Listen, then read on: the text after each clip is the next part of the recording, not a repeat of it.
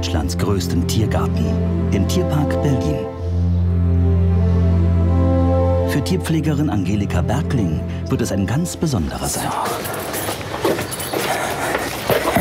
Dann werden wir mal hier die Schilder reinmachen. Heute kommen ja Alicia und Fagan das erste Mal auf die Anlage. Das ist, dass die Leute wissen. So, Schilder sind. Und dann werde ich sie mal rauslassen, die Mäuse. Anlage ist in Ordnung. Na dann, mal sehen, ob sie rauskommen oder ob sie hinten sitzen bleiben und sagen, nö, wollen wir nicht. Die beiden Tigerkinder Alicia und Dragan haben sich im Zoo Eberswalde kennengelernt und sind vor kurzem in den Berliner Tierpark umgezogen. Für Alicia heißt es Rückkehr nach Hause, denn die ersten drei Monate ihres Lebens hat sie hier verbracht. Das neue Revier ist allerdings für beide Jungtiere noch ungewohntes Terrain.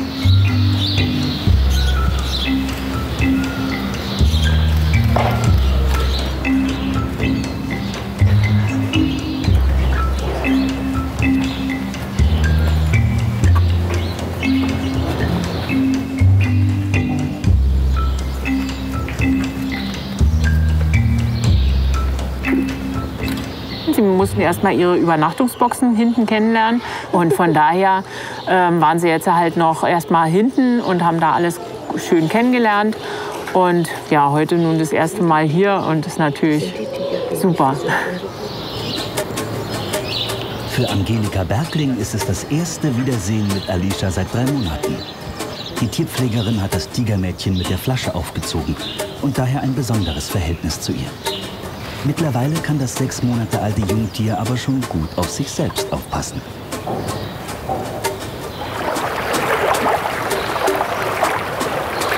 Ich wollte eigentlich nach Eberswalde mal fahren, aber ich habe es einfach nicht geschafft.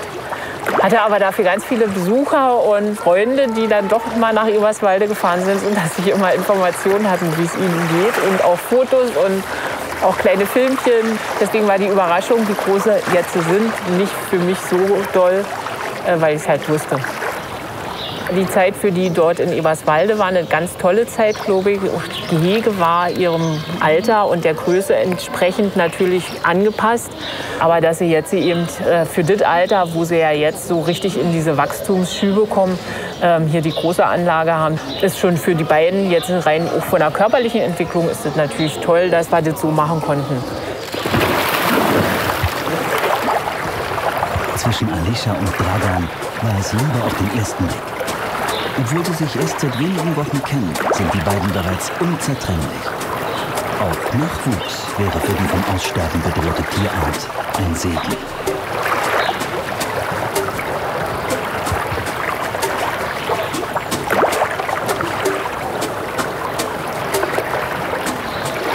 Also die passen ja wirklich wie Latsch und Bommel zusammen. Also das muss man mal wirklich sagen. Der Trager, das ist so ein netter Bursche, ganz immer freundlich. Und wenn er mit ihr spielt, sobald sie ihm laut gibt, dass es ihr zu doll wird, lässt er sofort von ihr ab. Also idealer kann man eigentlich ein Pärchen nicht haben. Der erste Tag im neuen Zuhause. Mensch und Tiere sind zufrieden und fühlen sich wohl.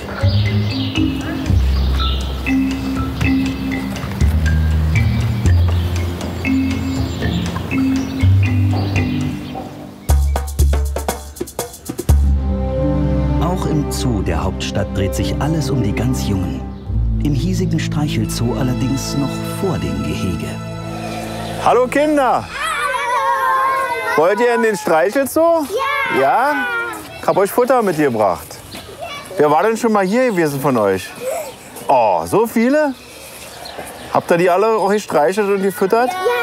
Ich, ich glaube, ich, ich werf's einfach immer So, na, das Hinwerfen ist nicht gut. Nee, ich würde aber dann will Ja, guck mal, ich hab hier Futter. Da kriegt ihr alle Futter. Dann nimmt das in der, in der Hand, in der flachen Hand vorhalten. Ja?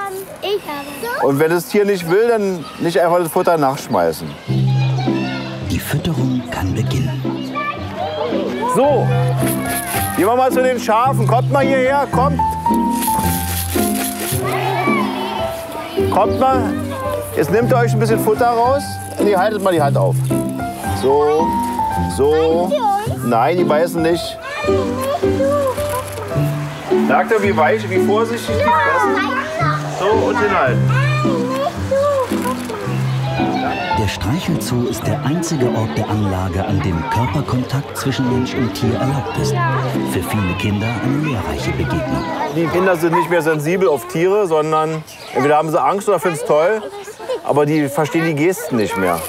Das ist ja den Umgang mit den Tieren. Das, das können sie ja bis lernen. Und wenn sie jetzt genau beobachten, das Futter genommen und so bei vielen. Leider ist da so, da fehlt so diese Verbindung zu. Ein Computer, dem wird mehr äh, Zuneigung zutage. Nicht fallen lassen, brauchst du nicht fallen lassen. So, wer will noch mal? Die füttern wir noch einmal, dann gehen wir woanders hin, ja? Ja, ihr wollt noch mehr. Na klar, auch, hallo. Oh je. So. Dann haltet das Futter hin. Na, natürlich. Nicht quengeln. So. Und durchgehen. Geht einfach geradezu durch. Zusammenbleiben. Tierpfleger Mario Barabas sorgt dafür, dass die Streicheleinheiten seinen Schützlingen nicht zu viel werden. Kommt da mal raus, die brauchen jetzt ihre Ruhe. Kommt da mal raus. Hallo, nicht jagen. Nein, nein, nein.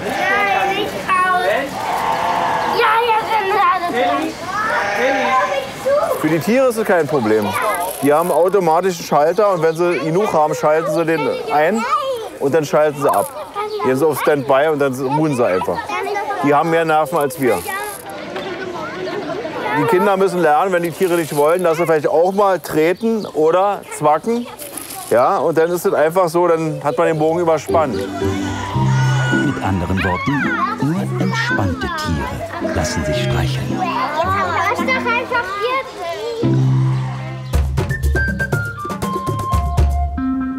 Nur wenige Meter weiter gibt es im Aquarium Faszinierendes zu bestaunen. Schwarze Kompassquallen. Sie artgerecht zu halten ist aufwendig und kostspielig. Deshalb sind sie in Zoos eine Seltenheit. Tierpfleger Daniel Strozinski züchtet seit vielen Jahren die unterschiedlichsten Quallenarten. Auch die anspruchsvolle schwarze Kompassqualle.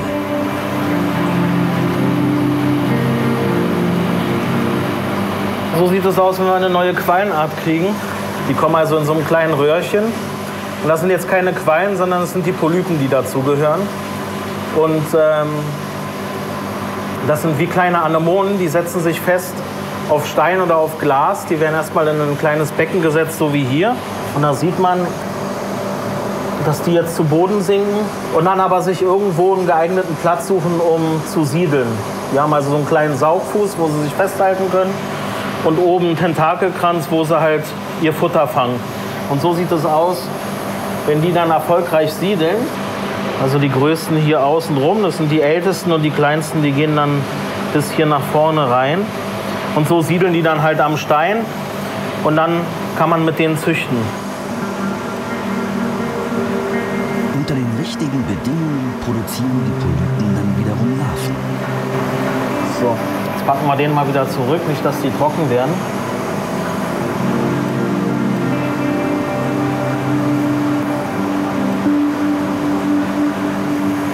Und das ist dann der, der Quallenkindergarten sozusagen. So kann man das sagen. Und ähm, ja, hier haben wir ein großes Becken auch wieder mit diesem Kühlsystem. Und da kommen die kleinen Quallen rein. Das kann man ja dann hier mal sehen, wie klein die überhaupt sind. Hier in diesem Stadion fangen sie schon an, langsam einen Schirm zu kriegen. Und dann machen die diese Umwandlung zur echten Qualle, also zu einer richtigen kleinen Qualle mit Schirm. Diese kleine Qualle wird Tierpfleger Daniel Strozinski im Laufe des Tages noch füttern. Mit der Hand. Der Tierpark ist die neue Heimat von Alicia und Dragan. Tierpflegerin Angelika Bergling bringt den beiden sibirischen Tigerkindern ein kleines Begrüßungsgeschenk in ihr neues Zuhause. So, für die Mäuse. Du Petra, den Ball halt jetzt ruffelegt. Ich gehe jetzt nach hinten und sperre die aus, ja? Ja, okay. Eine runde Überraschung für Alicia und Dragan. Doch die will erst mal gefunden werden. Schließlich gibt es in einem neuen Revier viele spannende Dinge zu entdecken.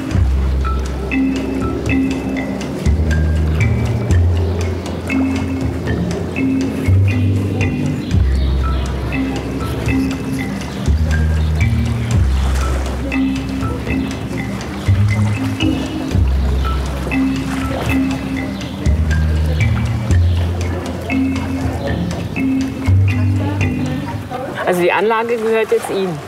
Und besonders auch das Wasser. Also die sind absolute Wasserratten. Man sieht es ja gleich erstmal früh rein, Morgentoilette.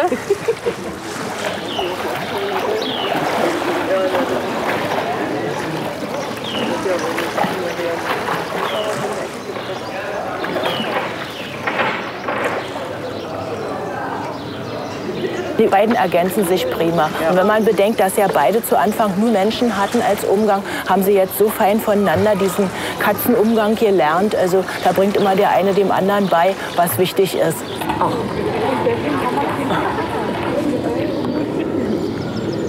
Sie rennt ihm ja immer hinterher. Also er ist ja immer derjenige, der so als erstes äh, Naja, er ist macht. auf jeden Fall mutiger. Genau. Ja. Ja, die Kugel ist was Schönes. Das runde Begrüßungsgeschenk von Angelika Berpling kommt offensichtlich gut an. Das bringt die Zukunft, was aus den beiden mal wird. Ob die jetzt als Zuchtpaar in eine nächste Einrichtung gehen oder ob sie beide einzeln vermittelt werden. Meine wünschenswert wäre es, wenn sie beide zusammenbleiben. Denn das ist ja so ein schönes Pärchen. Und ich meine, wenn die jetzt zusammen groß wären, die haben ja keine Angst voneinander. Ja. Wahrscheinlich würde er sich dann auch eignen als Familienvater, weil sie ja ständig mit ihm zusammen war und ihm vertraut. Alicia und Dragan. Eine echte Tigerfreundschaft.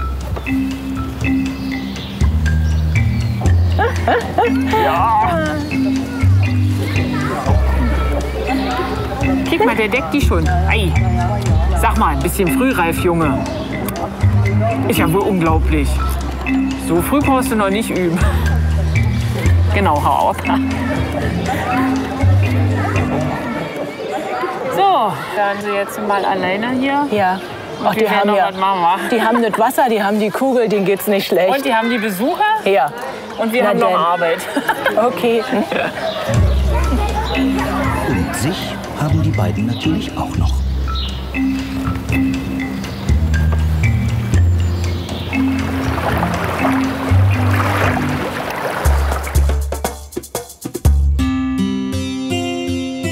Weit entfernt hat es bei den Morgazellen Nachwuchs gegeben. Ein Glücksfall, denn die Tierart ist nahezu ausgestorben.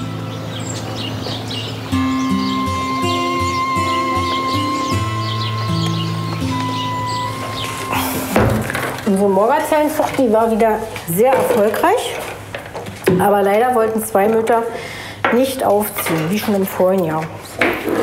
Und ein Kind hat es leider nicht geschafft, aber das andere Kind haben wir noch. Wir haben jetzt insgesamt drei Mädchen, wovon zwei werden aufgezogen und eine ziehen wir jetzt mit der Flasche auf, aber sie bleibt bei ihrer Mutti. Damit die sich erst ja nicht daran gewöhnt, dass man so ein Kind nur hinlegt und dann geht man seiner Wege. So das nämlich nicht gedacht. So, einmal warm Wasser hier.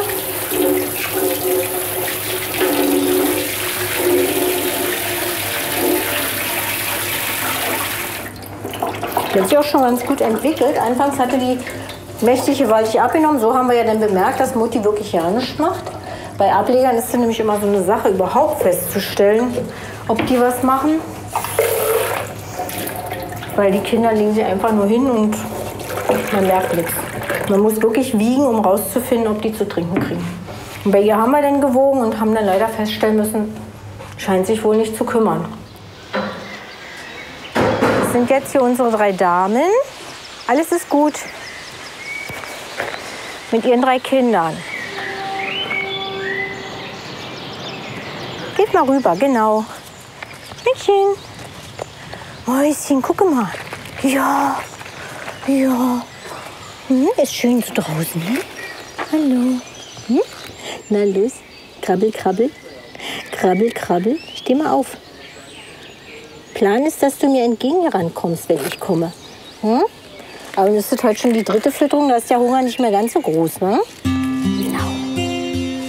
Noch etwa vier Monate lang wird Reviertierpflegerin Claudia Walter das gerade mal zwölf Tage alte Gazellenmädchen mit der Flasche füttern müssen. Komm her. Ja, alles schön, ne?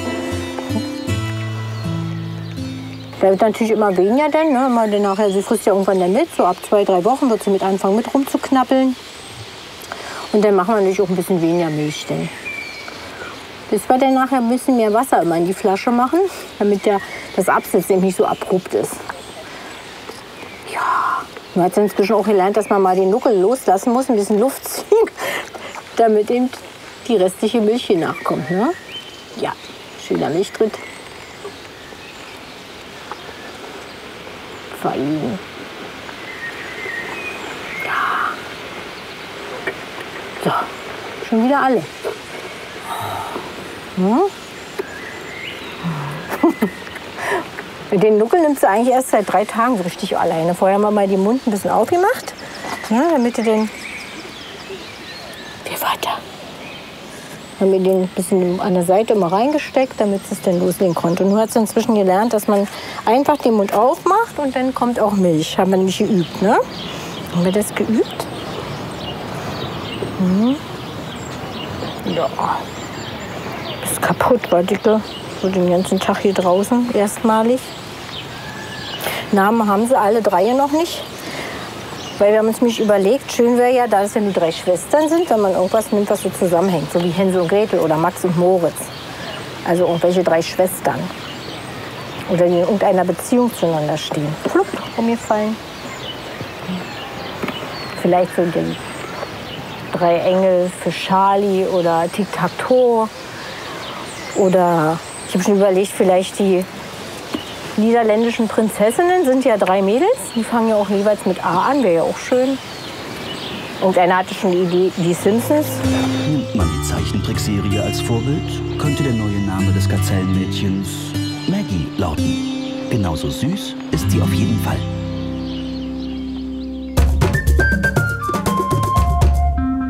Nicht weit vom berühmten Eingang des Berliner Zoos entfernt. In den Unterwasserwelten des Aquariums kümmert sich Tierpfleger Daniel Strozinski um die Aufzucht der schwarzen Kompassqualle. Mit Körpereinsatz. Also dann fangen die an, richtige Räuber zu werden, richtig viel zu fressen. Und die kriegt dann ihr Futter mit der Hand. So gehe ich halt sicher, dass die was bekommt und äh, das Wasser bleibt weiterhin sauber. Ja, da kommt sie nämlich. Und hier kann man auch am Schirmrand schon sehen, die, die ganzen Tentakel, die die schon ausgebildet hat.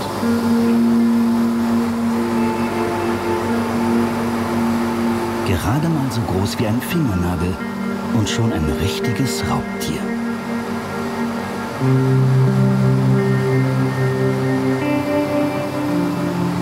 In dem Alter kriegen die fünf bis sechs Mal täglich, immer wenn ich vorbeikomme, dann hänge ich mir hier meinen Becher hin und immer wenn ich vorbeikomme, kriegt die halt ein Stück. Also so oft, wie es eigentlich geht.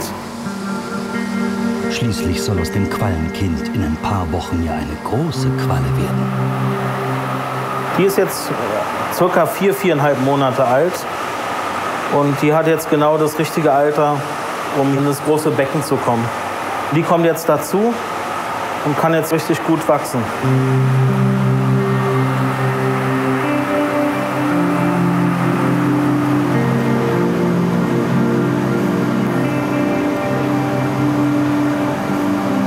Faszinierend. Welch ein Farbenspiel im Aquarium. Hier können sie schön groß werden, weil hier haben sie viel Platz und können gut fressen. Und wenn man genau hinguckt, so gegen das Licht, dann sieht man, dass die so einen ganz leichten Farbstich schon haben. Also ganz leicht kommt schon die Farbe durch. Also das dauert jetzt noch so circa drei Monate ungefähr, weil jetzt geht es ganz schnell. Jetzt wachsen die ganz schnell, wenn die richtig gut Futter kriegen. Dann äh, kann man denen beim Wachsen zugucken. Zum Glück gibt's genug Platz. Eine ausgewachsene schwarze Kompassqualle kann zweieinhalb Meter lang werden, mit einem Schirm von 50 Zentimetern Durchmesser.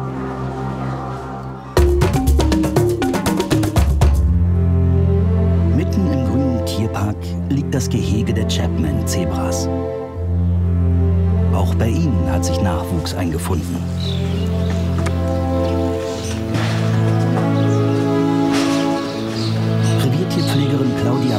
Stattet den Zebras einen Besuch ab und hat Brötchen im Gepäck.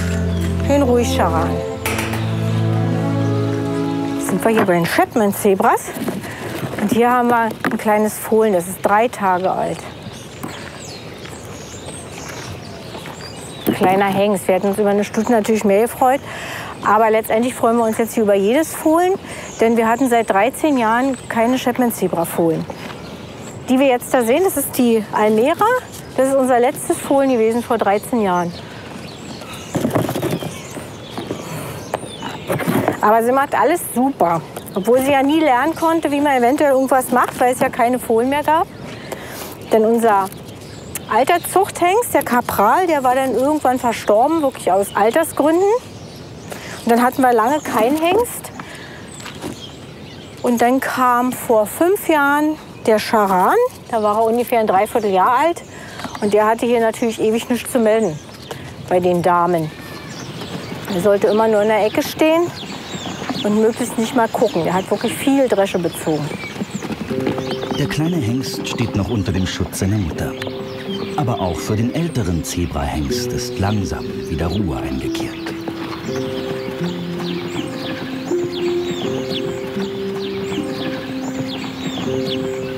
Da gibt es diese Haremsstruktur. Ein Mann und ein Haufen Frauen.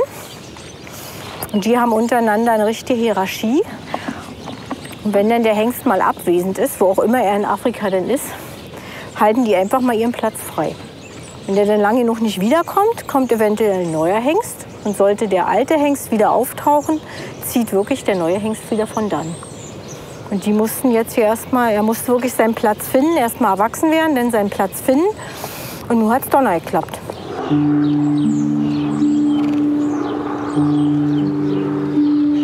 In einer Hinsicht fällt das Fohlen aber jetzt schon aus der Reihe.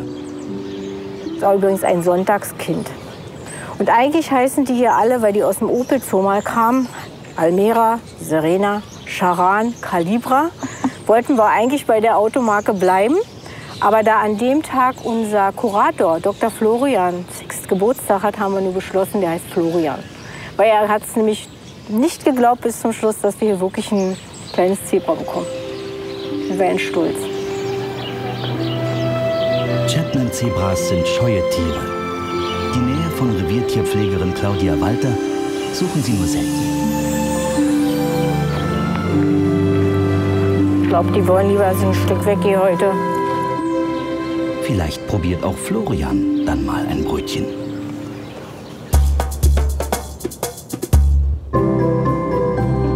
Die Tropenhalle im Alfred-Brehm-Haus. Neben vielen anderen exotischen Tierarten sind hier auch die indischen Riesenflughunde zu Hause. Nur der vier Monate alte Timmy muss erst noch vorsichtig an sein neues Revier gewöhnt werden. Seine wichtigste Bezugsperson ist Tierpflegerin Diana Grögor. Hallo, hallo, hallo. Hast du gut geschlafen? Ja. Ja, ja, ja, ja. Komm mal her. Komm mal her. Hatte zwei Tage frei, nicht? Komm mal her. Na, komm mal her. Na, ihr kuschelt ja schon. Ja, Stört doch bloß. Morgen. Guten Morgen. Der war richtig gut duft die letzten zehn Tage. Das ist schön.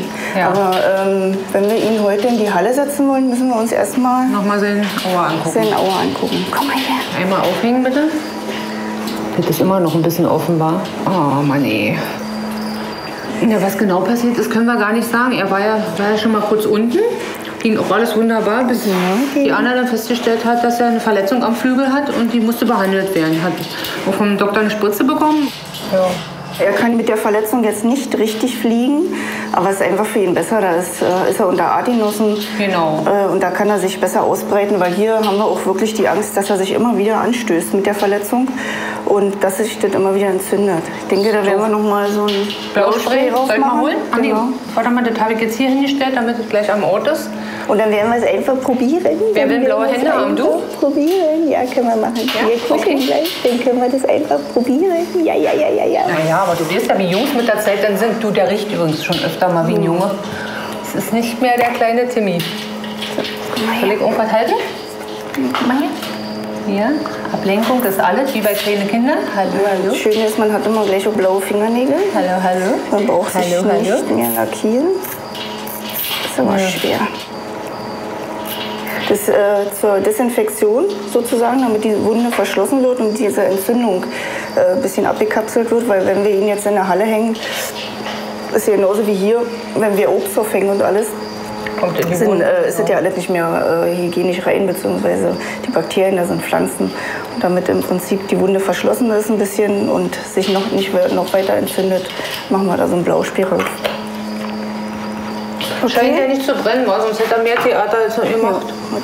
Ja, aber lass uns das mal ruhig versuchen und jetzt versaust du dir auch gleich noch dein Hemd, das ist dir Nein. klar, wa? Das ist halt so. Warte, warte, warte. So, dann wollen wir jetzt Mal in die Halle gehen, mal die Halle probieren. gehen. Na, dann wollen wir mal los, ne? Für Timmy heißt es jetzt, aus dem kleinen Käfig in die große, weite Welt der Tropenmale. Löwentor des Berliner Zoos liegt der Streichelzoo. Hier ist die Stimmung gerade ein wenig angespannt. Die jungen Zwergziegenböcke wurden von ihren Müttern getrennt. Und die werden schmerzlich vermisst.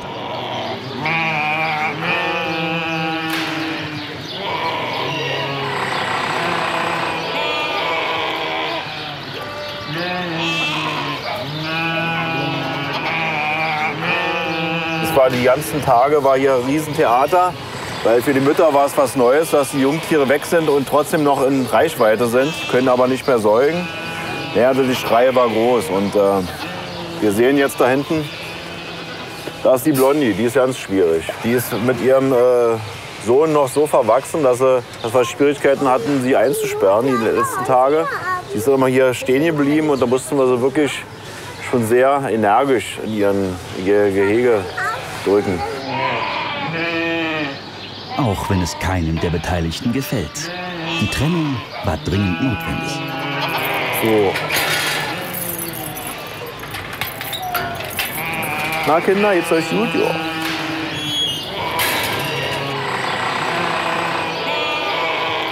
Jetzt im Spätsommer haben die, die Jungtiere hier im Kinderzoo, gerade die männlichen, haben jetzt keine Aufenthaltsberechtigung mehr. Also wir müssen die trennen, weil die Böcke dann doch schon mit vier Monaten geschlechtsreif werden und ihre eigenen Mütter belegen können. Und die haben wir jetzt auch am Kinderzoo gestellt, dass die Mütter noch Kontakt mit ihnen haben, rein optisch und akustisch, aber sie können den Müttern nicht zu nahe kommen. Das wollen wir natürlich vermeiden, um nicht ungewollt äh, Jungtiere zu haben. Die Böcke werden bald von einem Schäfer abgeholt und bekommen dann ein neues Zuhause.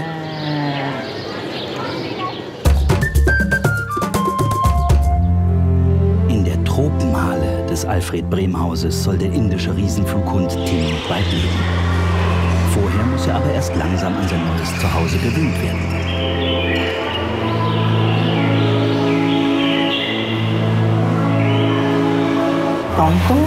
Bitte ihr beiden.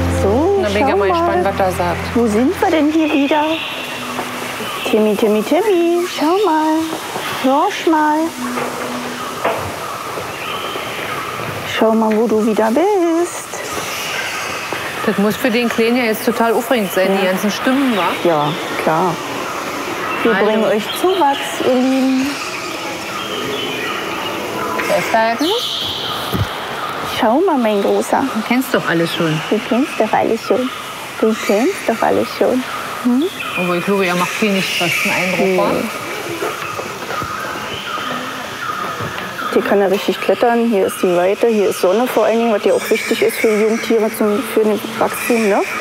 Hier kann er sich satt essen, weil hier hängt ganz viel und hier wird er nicht limitiert. Das war ja auch so ein bisschen unser Problem, als wir ihn das erste Mal in die Halle gesetzt haben. Da hat er sich kugelrund gegessen und da war er äh, richtig schwer, also äh, zum Fliegen zu schwer. Unverwöhnt. Unverwöhnt natürlich, nur die besten Sachen. Da mussten wir auch so ein bisschen kleines bisschen Einhalt machen, weil er soll ja in die Länge wachsen, also größer werden und nicht in die Breite wachsen. Jetzt hat man hier so einen kleinen Pummel zu hängen. Besuch in der Tropenhalle hatte sich Tim direkt verletzt. Wir wissen eben nicht, ob es noch mal zusammenwächst. Diese Knochen, die sind ja wirklich jetzt auseinander und in der Stellung können sie eben nicht mehr zusammenwachsen. Aber man kann es eben auch nicht entfernen, ne? weil es ist wichtig für die Flughaut. Die ist so durchblutet und da würden wir, denke ich mal, mehr Schaden anrichten, wenn wir da jetzt operativ oder irgendwas machen würden, als wenn wir das jetzt einfach zusammenheilen lassen.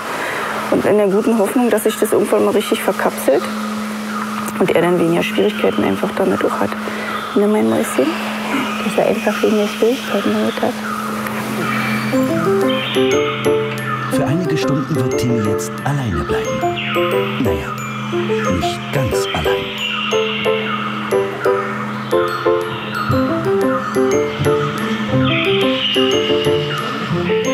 So, Süßer. Jetzt gehen wir denn los, ja? Viel Spaß dir. Bis nachher. Tschüss. Stinker.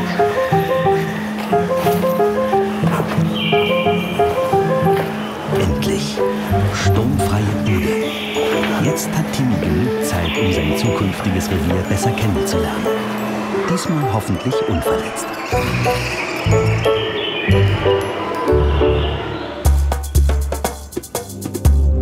Im Tierpark gibt es seit kurzem eine neue Tierart zu bestaunen. Giraffengazellen, auch Gerunux genannt. Die jüngste von ihnen ist gerade mal vier Monate alt. Wichtig ist bei dem, man sieht ja, was die für ein schmales Gesicht haben und ein schmales Mündchen, dass man wirklich nur ganz feines Laub nimmt, Kleinblatt ist. Also ein großes Ahornblatt bringt den gar nichts. Das kauen sie nur durch und spucken es wieder aus. Na, jetzt guckt ihr. Und sehen tun wir jetzt den Jess, die Amelia und ganz hinten ist unser ganzer Stolz, das ist unser Jungtier. Also wir haben jetzt auch schon einmal gezüchtet. Der ist so albern, diese Riesenohren hatte der schon bei der Geburt. Dann guckte der einen an, wie E.T. sah der aus. Vor der Geburt des kleinen Tayo war die Aufregung groß. Vorbereitet haben wir uns wirklich bis zum geht nicht mehr eine Waage und Milchpulver und eine Box organisiert und eine Wärmflasche, weil es war im Winter, dass er kam, dass man ihn hätte mit nach Hause nehmen können, um ihn aufzuziehen und dann hat sie alles perfekt gemacht. Sind wir stolz drauf. Und der ist auch gar nicht so hektisch. Deswegen werden in Amerika nämlich die Tiere per Hand aufgezogen, weil die so hektisch sind. Ja, eigentlich nicht. Tayos Eltern stammen aus amerikanischen Zoos und sind im Rahmen eines Erhaltungszuchtprogramms nach Deutschland gekommen. Auch das Männchen Jack stammt aus den USA. Da er ein bisschen kecker ist als die anderen Giraffengazellen, ist er in einem separaten Gehege untergebracht. Wir üben mit ihm so ein bisschen. Die klettern nämlich auch immer ganz gerne hoch. Du siehst das alles schon, geht gleich los. Ja. So. Und du benimmst dich, weil, nein, nö, nö, nö, nö, nö. So. Es geht nämlich immer ein bisschen so nach, nach seiner Nase. Hier, komm mal hoch. Na Lust, komm mal hoch zu mir. Hier irgendwas ist. Fein, genau, dann still. Nein, nein, nein, nein, nein. Also, also manchmal hat er eben auch so seine fünf Minuten, da mag er nicht. Guck mal hier oben, hier. So ist. Nicht. Den kann man natürlich auch ganz cool abwehren, weil das ist jetzt hier Abwehrverhalten. Guck mal hier. Und jetzt, wenn die miteinander kämpfen, dann hauen die auch von unten immer richtig den Gegner in die Beine. Hm? So, jetzt soll ich hier den Hörer vorsichtig zumachen. So, Jack will heute lieber kämpfen. Claudia Walter nicht. kannst wieder hochkommen, alt gut. Bis Tayos Geweih zu wachsen beginnt, wird es noch etwa fünf Monate dauern. Ja, in Afrika wird er nämlich selten älter als neun Jahre, weil sie immer pausenlos kämpfen müssen. Man kann eben auch nur ein, ein Männchen und mehrere Weibchen funktioniert, aber mehrere Männchen überhaupt nicht. Dann wird pausenlos gekämpft.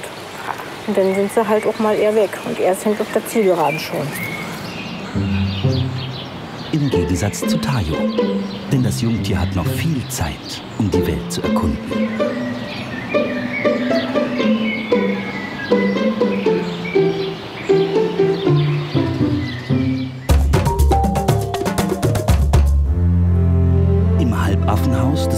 Tierparks wartet die junge Diana Meerkatze Rea sehnsüchtig auf den Abend. Dann darf sie nämlich über Nacht das Revier verlassen und mit einem Tierpfleger nach Hause fahren. Der Grund? Rea wurde von ihrer Mutter nicht angenommen, braucht spät abends aber noch die Flasche. Heute ist Fabian Behnke mit der Nachtschicht dran.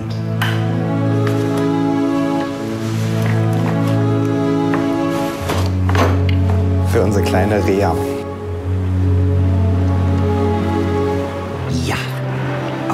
Übernachten. So, Süße. Wo bist du denn? Ah, in deinem Köpfchen.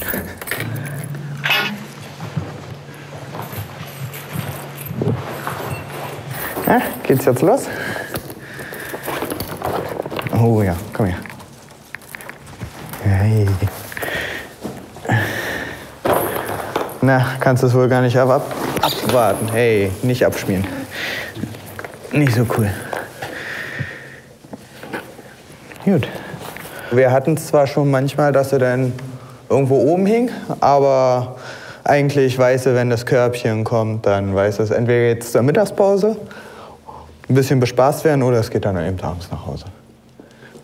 Und jetzt ist sozusagen die Zeit, wo es dann langsam heißt, ab nach Hause. Spielekind. Komm her. So, finito für heute. Von wegen. Bleib.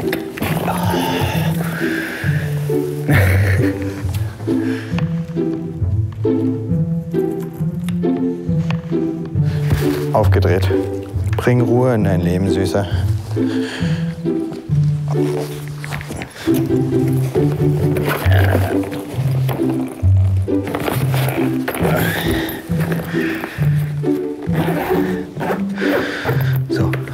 Eingesackt und jetzt geht's los.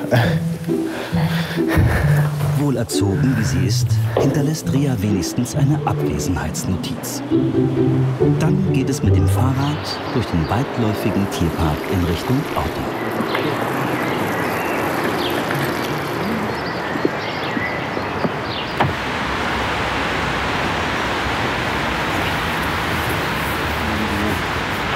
Damit du mir nicht während der Fahrt durch die Gegend fliegst. Ja, werde ich mal neu. Auch für die Jana-Meerkatzen gelten die deutsche Straßenverkehrsordnung und die Anschnallpflicht.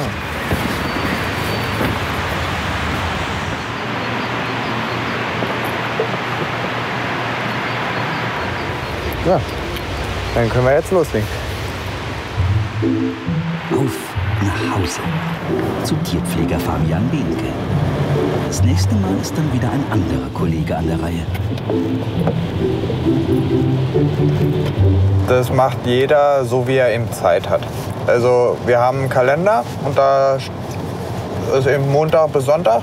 Und jeder kann sich da eben eintragen an dem Tag, wo er theoretisch Zeit hätte und sie gerne mitnehmen würde. Am Anfang war sie ja auch noch bei Weitem nicht so mobil wie jetzt. Also jetzt muss man ja schon echt aufpassen, dass er den Korb nicht von selber öffnet. Doch wer will schon im Korb bleiben, wenn die Fahrt durch die Hauptstadt geht? Oh, äh, nicht rauskommen, Süße. Aua, nicht beißen. Für Rea kann jetzt die Pyjama-Party beim Pfleger beginnen.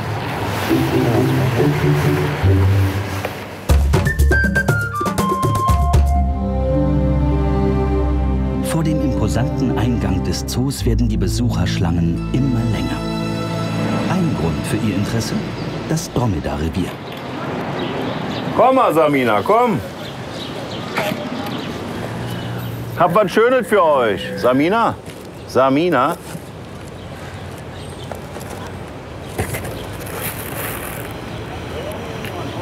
Na, siehst du die ja.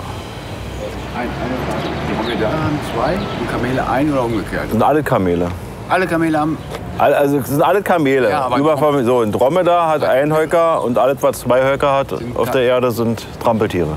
Die heißen Trampeltiere. Wie nehmen auch immer. Trampeltier. Nee, zwei Höcker, ne, das haben meistens die Frauen. Denn, Kurze Nachhilfe in Kamelkunde. So, ich muss mich beeilen. Samina. Buh. Ganz vorsichtig. Arabella.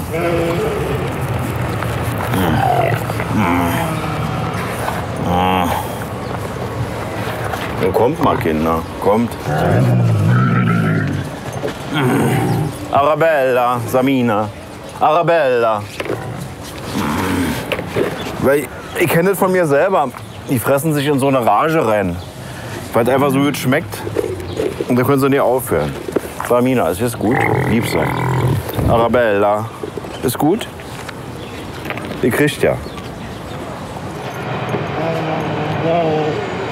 Seit Hengst Paul vor drei Jahren verstarb, besteht das Dromedar-Revier nur noch aus Damen. Hier fehlt der Hengst. Den hatten wir zwölf Jahre. 13 Jahre war er hier fast. Ja, und äh, hat ja auch für acht, neun Kinder gesorgt. War auch alles sehr schön und dann ist er ja leider uns verloren gegangen. Oma Jasmin, Mutter Arabella und Tochter Samina. In der Frauen-WG ist Mario Barabas ein gern gesehener Gast. Mhm. Kommt mal mit. Kommt mal mit.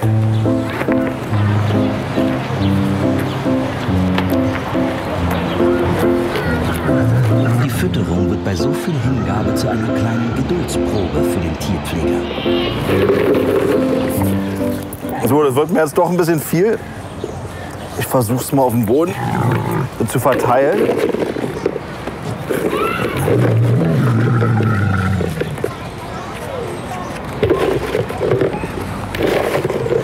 So.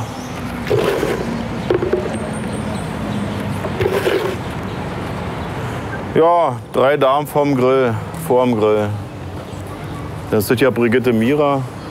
Und das ist die Jungsche und das andere ist die Brigitte Grotum. Aua! Nicht beißen, nicht beißen. Lieb sein vor allem. Du musst immer richtig doll lieb sein. Verstehst du das? Du darfst keinen Blödsinn machen. Du darfst nie Blödsinn machen. Immer richtig doll lieb sein. Das ist ein Grundsatz. Samina muss lieb sein. Der Pfleger, ein Dromedar-Flüsterer. Ja. Nein, ich küsse dich nicht. Nein, das tue ich nicht. Nein. Tierpfleger Fabian Benke ist mit Rea zu Hause angekommen. Die ist schon ganz ungeduldig. Bleib mal drin, noch nicht. Ganz gleich. Bin gleich da.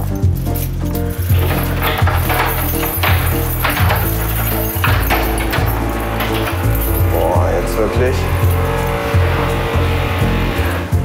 Kannst du auch gleich lostoben. Komm her. Ja. Rasant wie immer.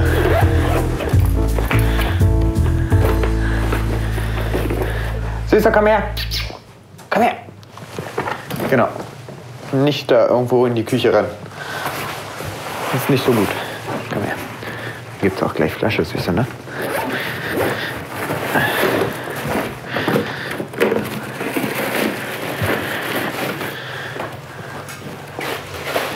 Kennst schon, wa? Ja. Süße, ich muss die erst noch machen. Warte mal, lass mich, ich will nicht nur ganz kurz die Jacke noch ausziehen. Ja, ich weiß, du hast Hunger. Gib gleich was.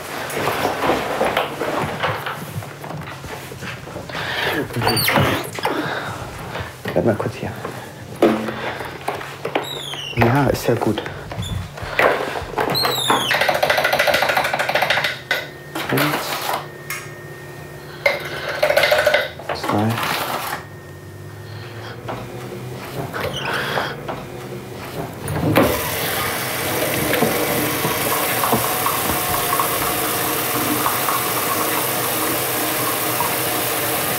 Ja, süß, das ist noch ein bisschen heiß. Warte, ich muss noch mal ein bisschen kalt stellen. Geduld gehört wie bei allen kleinen Kindern nicht gerade zu Rias Stärken. Na, ist noch ein bisschen, noch ein bisschen warm. Hm. Süße. Hey. Komm her.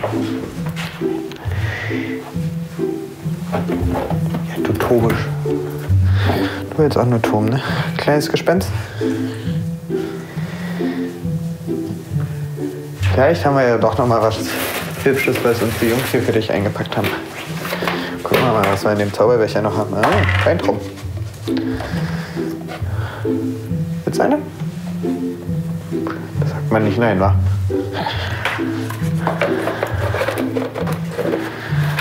Ich will die ja nicht irgendwo hin. Ah. Ist immer dann abends noch ein bisschen Halligalli und Action. Also ist schön. Feierabend total überschätzt.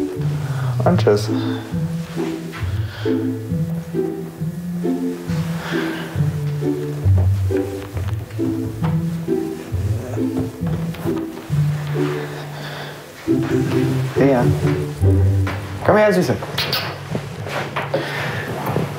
Du gerade deine Weintraube frisst. Komm her. Mm. Ja, wenn man natürlich ein riesiges Stück Weintraube im Mund hat, dann geht das nicht so gut, ne?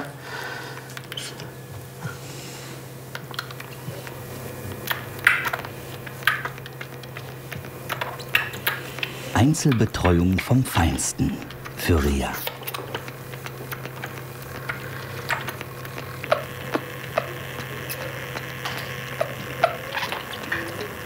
Die letzten müsste ich gleich mal gucken, wann sie die kriegt. Ob sie die jetzt noch um 10 oder schon um 9 erst kriegt. Weil wir sie langsam runterschrauben, damit wir sie eben dann nachts im Tierpark lassen können. Ne? Ah, nee. Finito. Wieso denn nachts im Tierpark lassen? Bei den Tierpflegern zu Hause ist es viel schöner. Ja, und irgendwann so zwischendurch pennt sie dann mal so für 10 Minuten weg und danach ist sie wieder wie so ein Stehaufmännchen und rennt hier wieder ihre Kreise. Und dann abends packen wir sie ein und dann geht sie schlafen. Bloß sie ist noch ein bisschen einfacher. Sie fängt dann nicht an rumzumeckern, sondern dann ist froh und dann ist gut. Man ist ja schließlich Gast.